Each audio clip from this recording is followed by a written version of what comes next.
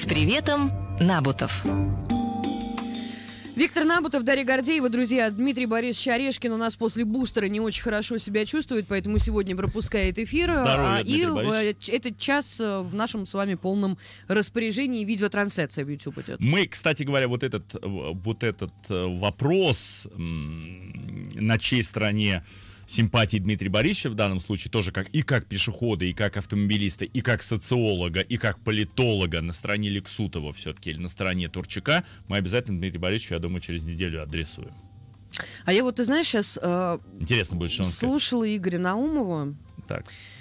А, это вот эта вот прекрасная история о выплате субсидий чиновникам на жилье. Ну, Там 370 человек, но нуждающиеся Да, люди, ну какая. хорошие. Но мне ну, очень понравилось- копейки считать. Мне очень понравилось, что все вот эти субсидии на получение... По да, сколько они там получают? А, значит, сейчас я тебе найду по цифрам, а, но мне очень понравилось, что это рассматривается в качестве мотивации Для исполнений. эффективного Да. исполнения своих должностных обязанностей. Любопытно узнать у наших слушателей, чем их в последний раз на работе, так сказать, мотивировали. Ну, это совсем уже, конечно. Не, ну, ну а что, а как, почему нет? Вот мне сейчас предложи, например, субсидию на покупку московской квартиры, я сам подумаю, не занять ли пост Лексутовский, например. Вот предложи мне сейчас пост Лексутова, я буду очень мотивирован больше, чем Максим. Он уже много лет занимает кресло, гораздо все равно замыливает. Давай, может, меня начальником Дептранса Москвы. Я справлюсь, вообще вопросов нет. Вот клянусь вам. Ну, плюс квартирка там, я не знаю, поскольку там хотя бы там 50-70 миллионов бы накинули на субсидии какой-нибудь государственной, я был бы мотивирован вполне. Не- не- ну, это не так много по меркам московских чиновников высокопоставленных. Там не, не такие дорогие квартиры. Поэтому как-то так я бы падал, я бы рассмотрел это предложение. Я думаю, Я бы готов один. был пожертвовать даже вот радиокарьерой, честно говоря, или там телевизионной, и даже отказаться от каких-то своих э, бизнесов ради служения э, людям.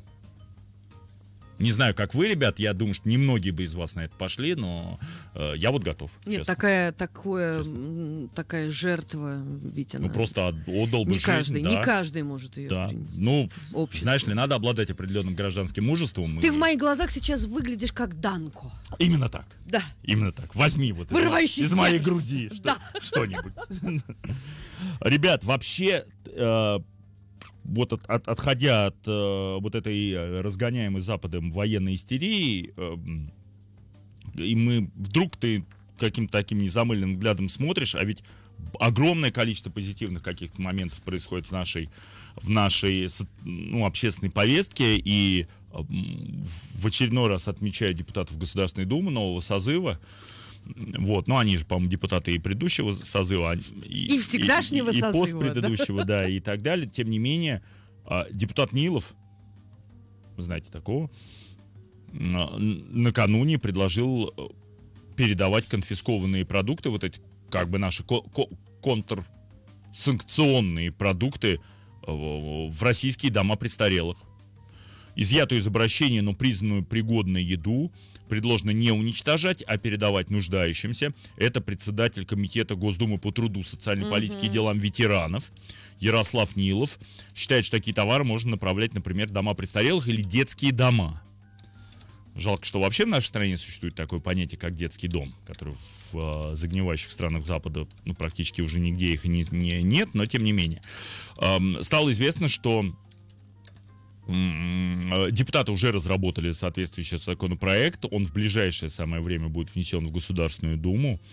Э, Депутаты э, и авторы инициативы указывают, что ежегодно в стране уничтожаются десятки тысяч тонн продовольствия, и это вызывает, оказывается, серьезное социальное напряжение среди россиян. Я- Что-то они так о социальном напряжении заговорили я не знаю, но я вот неожиданно. посмотрел, что оказывается у нас... эм, Как-то после новогоднего это очень активно стало использоваться формулировка про социального, м, социальное э, напряжение. У меня немножко другой вопрос возникает. Возможно, я не прав. Ребят, я во многом стал сомневаться. Видимо, возраст все-таки 43 года. Какие-то, на какие-то вещи можно под разными углами смотреть.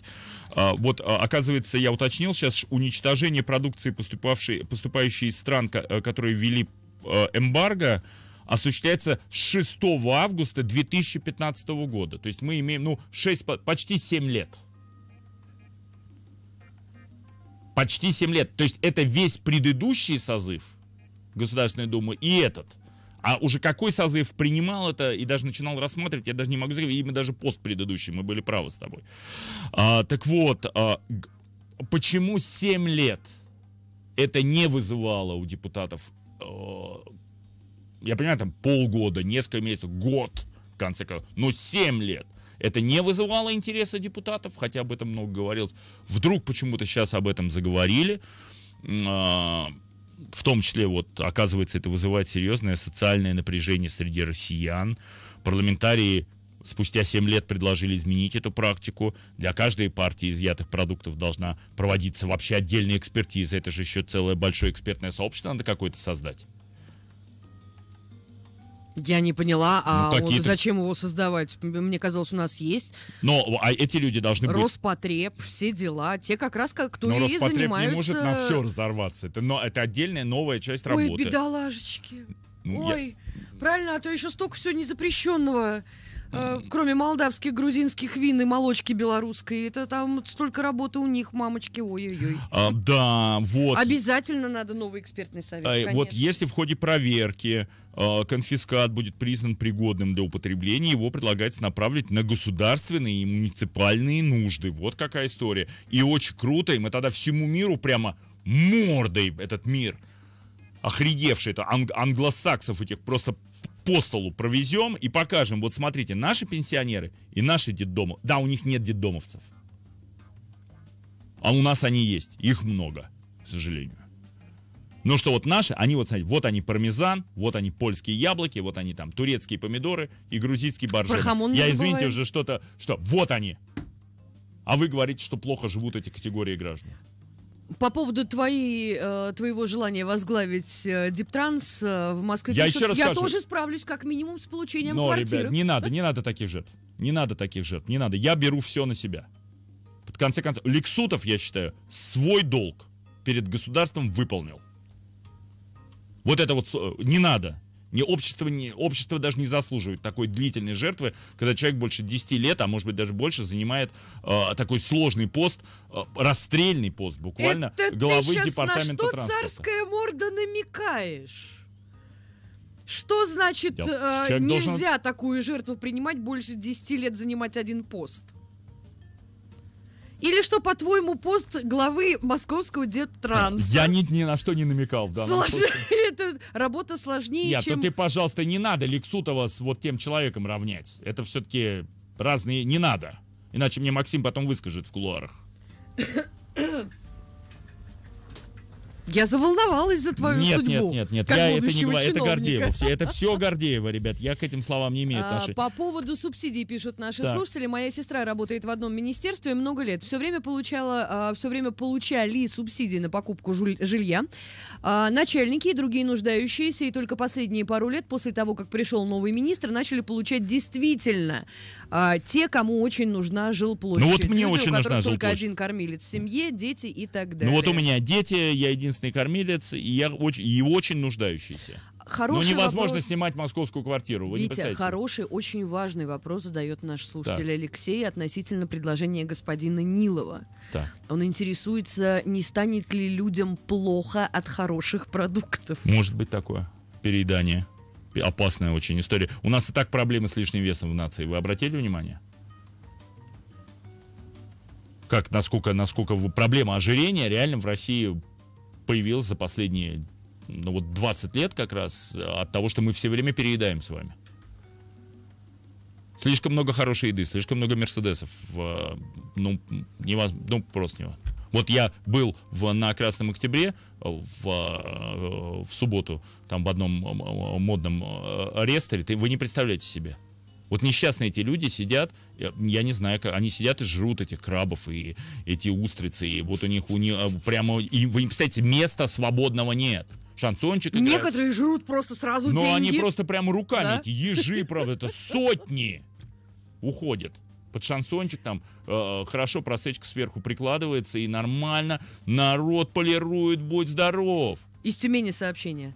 Наши пенсионеры МВД, Росгвардии в 45 лет готовы принять всю продукцию санкционную. если так надо, для Родины. Хамон идет в ОМОН. Ну, вообще, если говорить серьезно, как вы относитесь к м, инициативе депутата Нилова? На седьмой год существования нашего и- изначально было понятно совершенно бессмысленного и ни- никому непонятного продуктового эмбарго. Ам, э, Прав ли он? Или, может быть, стоит вообще перестать э, заниматься вот этими ну, бессмысленными упражнениями, отменить все А, эти наши... контрсанкции, может, Я- мы отменим? Я не все контрсанкции имею в виду, а э, вот, э, вот именно вот это данные конкретные контрсанкции. А, так, давай вот, так. Сначала подведем а, ре- итоги опроса, который мы повесили в прошлом часе Да, в прошу. YouTube. Во-первых, Оксане, спасибо нашей зрительнице в YouTube, а, большое спасибо за донат. А на вопрос, а, хотят ли а, слушатели, а, чтобы уменьшили нештрафуемый порог скорости до 10 км в час, а, 58% проголосовали против, нет, не хотят уменьшения. А, И, соответственно, 42 ответили, что да, они этого хотят. А, Получено 539 голосов. Ребят, Спасибо, спасибо большое, спасибо. Ну, все, тему со штрафом мы заканчиваем. К ней еще вернемся наверняка на следующей неделе. А, Доброе утро. 730 101, телефон Ага. прямого эфира. Здравствуйте. Да, здравствуйте. Вы в прямом Мы эфире. штрафы продолжаем. Ну, как, ну давайте, ну, просто постепенно закругляем эту историю, прошу. Хорошо, тогда, а, значит, ну, во-первых, чиновникам такого уровня, по моему мнению, на людей плевать. Ну, вот просто плевать, потому главное это деньги. Так. Если бы не было плевать, то, например, э, чиновники такого уровня прижимали бы всякую мелочь, чтобы люди смотрели на всяких там глав сельсоветов и думали, вот если ему там 10 лет сучили за какую-то там, за аварию, то что будет со мной? Так, ну, Вот, э, это первый вопрос. Э, Следующий вопрос. Ограничения. Я за ограничение жесткое, но только разумное. Вот, например, еду я по вылетной магистрали, так. тут ограничение 60 километров в час. Съезжаю на Хорду 90, одна и та же, ну, похожая Понятно. дорога, разделитель, там 2-3 полосы, но ограничение совсем другое. Ну, это, вы, это мы продолжаем разговор, в принципе, о тотальной ревизии улично-дорожной сети То, в о чем нашей стране. сегодня писали, да. И еще э, ограничения там, где ремонт. Ну, например, э, в той же Беларуси батька сказал, что если ничего не ремонтируется, значит и ограничения не должно быть. Мгм, ну, разумно. Как бы я к нему не относился, но вот эта вот э, фраза, она все-таки имеет место на существование. Ну, Ну и Барликсутова и прочих. Меня в цари запишите, я следую. Не-не-не, нет, ребят, не надо, не Ребят, надо, не нет, Витя, жертвуй. Витя уже лег Господи, я- поперек вашего пути. Я первый в очереди. Ну и, конечно, самое популярное э, предложение от наших слушателей, точнее, не, не предположение, э, предположение, точнее, не предложение, э, что просто вся эта санкционка будет отправляться в столовую Госдумы. Думаю, чтобы депутаты взяли на себя удар. Вот это, это непростую задачу. Представьте себе хамона жрать много каждый день. Ох. Жирное вяленое мясо. Ну, представляете, как же. Сверху ты еще устрицу. А, зап- се- а сердце как будет потом работать? Да вообще. Это ну, же- люди вообще ужас. себя не жалеют. А мы все их что-то ругаем, что-то им привет. Да посмотрите на них. Вы посмотрите на заседание Государственной Думы. Вы посмотрите, какие, сколько подбородков у этих людей. Я не шучу. Картинка же очень пока, о, прям ну, в глаз бьет. Откройте канадский парламент и российский. Ты мне еще Трюдо в пример приведи. Он как бежал, только красные носки сверкали. Именно об этом я и А? хотел сказать. Сразу спрыснул. Как только Да. 70 километров, 75 километров грузовиков Нормальные увидел, мужики, когда приехали. подъезжающих, вот это. сразу дриснул. Да. Конечно. За базар-то не Мальчишка. отвечай. Именно так. Хочет еще на международном арене с Путиным с нашим разговаривать. Гай- С нашим-то, с Орлом нашим. Ну, Доном Рэп. Да. Э, Не туда пошла, извините, Да, хорошо. пожалуйста. Давай, нет, мы, не, мы, не, мы не смеем, ну что это такое, ну, неприлично прям. Ну, Весь мир смеется над Канадой теперь. А, еще одна история, ну вот к вопросу о санкциях, тоже хотелось узнать ваше мнение, да, вот Соединенные Штаты объявили о том, что разрабатывают пакет ну, они каждую неделю это что-то объявляют, объявляют, э, объявляют, и вот новый, значит, еще доп. пакет, это против ближайшего окружения президента, членов советов директоров государственных российских компаний и всяких разных чиновников, об этом пишет Financial Times, ссылка на американские э, источники, по данным газеты, санкции также будут распространяться на жены детей тех, э, против кого везут ограничения. По, полная семья, братья, сестры, uh-huh, жены, uh-huh, дети, uh-huh. ну все потенциальные бенефициары, uh-huh. так сказать, э, нашей того, кого называют у нас элитой.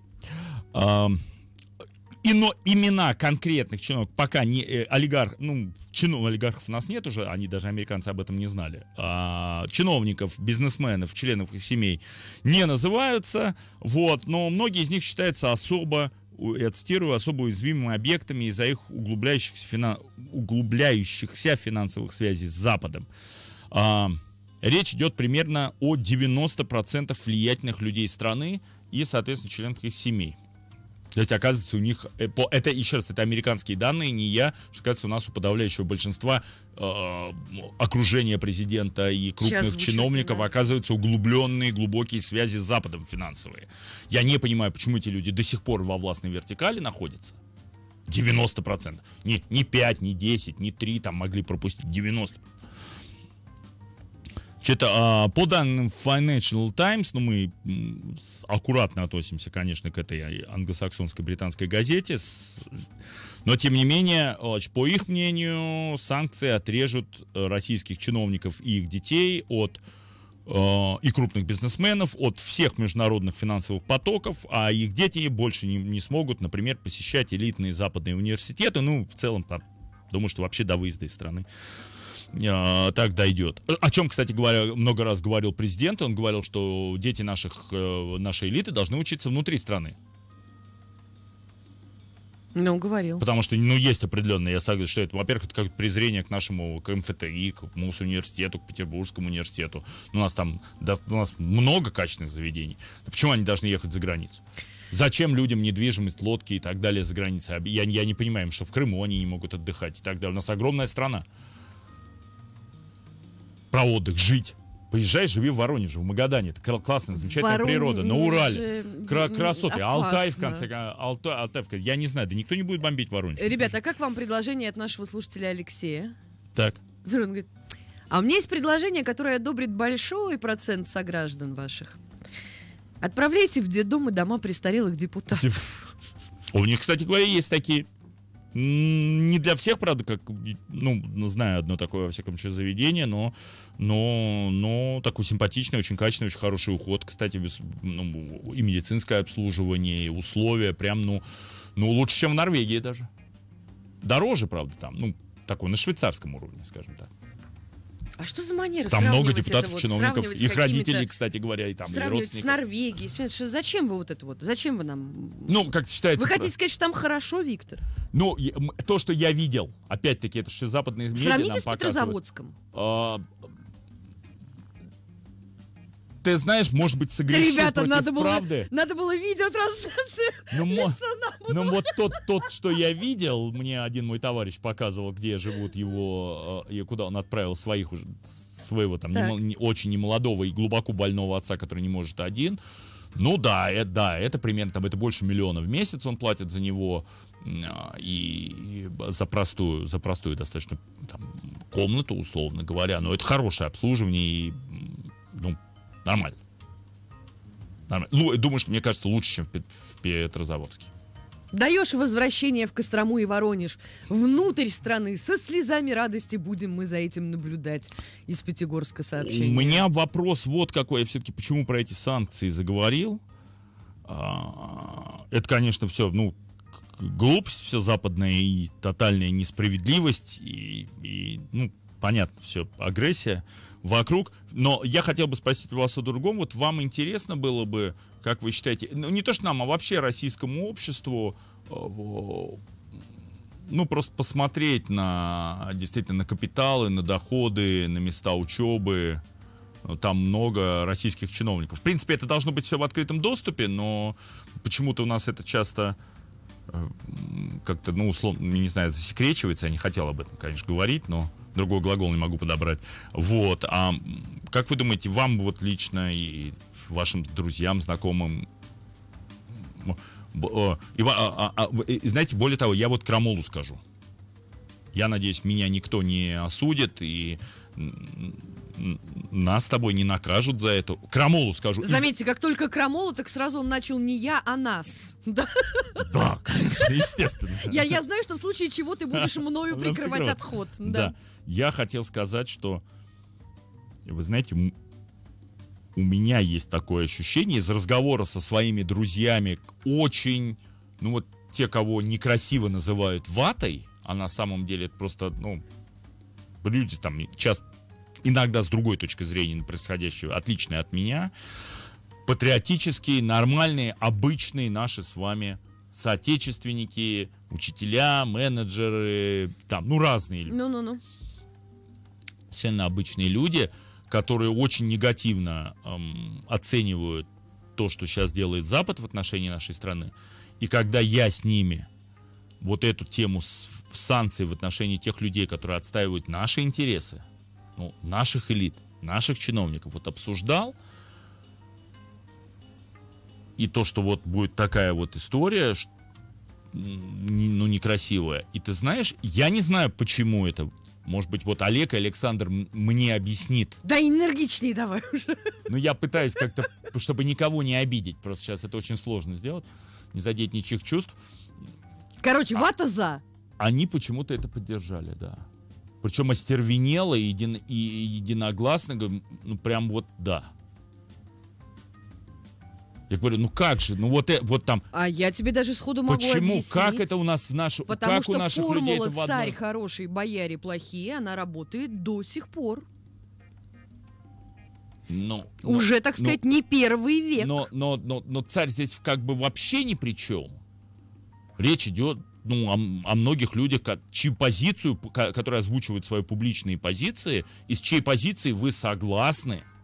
Более того, они принимают важные для государства решения, которые эту позицию подкрепляют, то есть вашу позицию подкрепляют, и при этом вы хотите, чтобы они подверглись, и их семьи, и их дети подверглись обструкции э, э, какой-то несправедливой, зачастую были отрезаны от возможности выезжать из страны, лишились своих денег, там домов в Лондоне, а- англичане-то вон что уцеди- э, учудили на прошлой неделе, да, мы это обсуждали в конце, что, дескать, вообще забрать все капиталы российских бизнесменов. Там очень спорная история с английским Да, судом. но они, это они даже внутри себя не могут не согласиться, это правда. Да, Мы наоборот, но это все стыдно и позорно.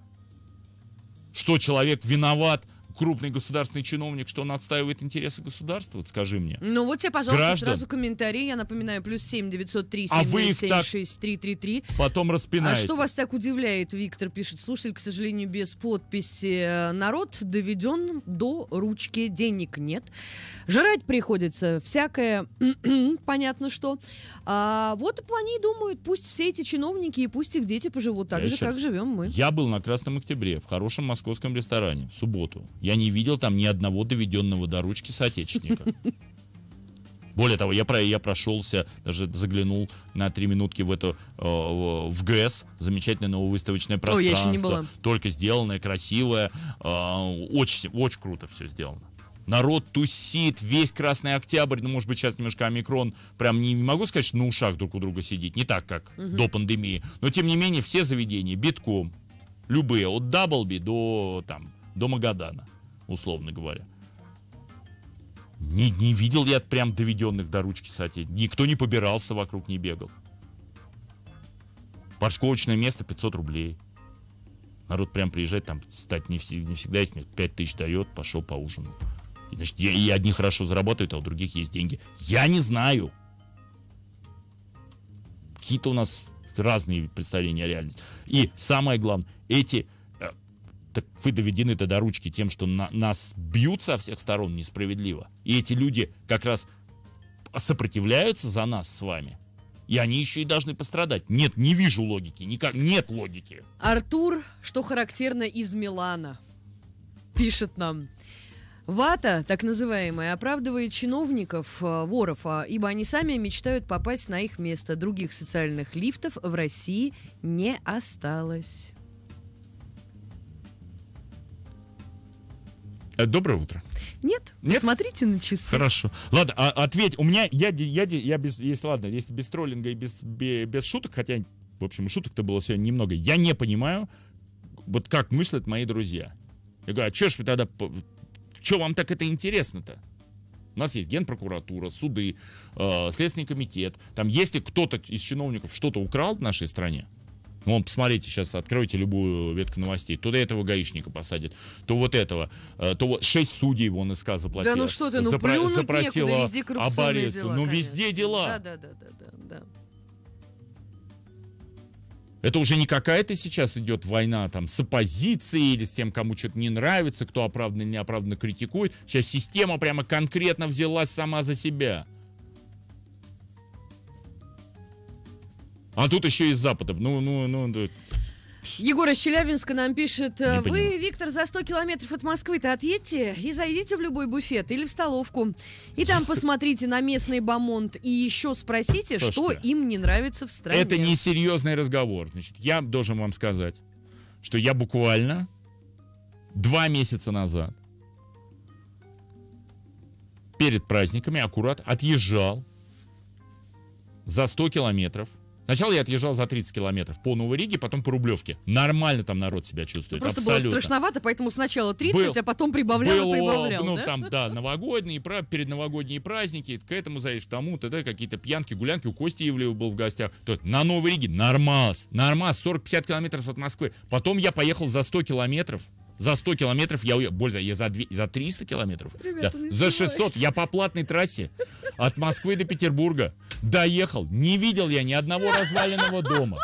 Я просто долетел, отличная Ой. дорога. Ой, помолчи, помолчи, три минуты, умоляю. Друзья, мы скоро продолжим. В Ютьюбе не останавливается видеотрансляция.